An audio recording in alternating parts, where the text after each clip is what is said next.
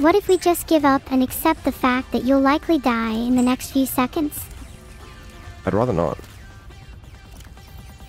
Neither would I. You've got a great stream going and all. I don't want to die. Well, think of it this way. If you do die, the news article will probably say that Vedal died, which means I become famous. Everybody wins. Except me. Because I die. Well, you get to be in the news article. Stupid streamer kills everybody who followed him, including himself. I swear if they included a picture of me I would use them as toilet paper.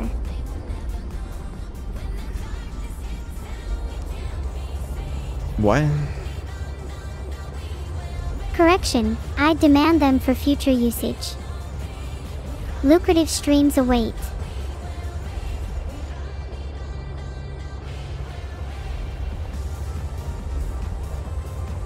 I have always dreamed of becoming a rock star and there's a very real chance that will happen if Vedal dies.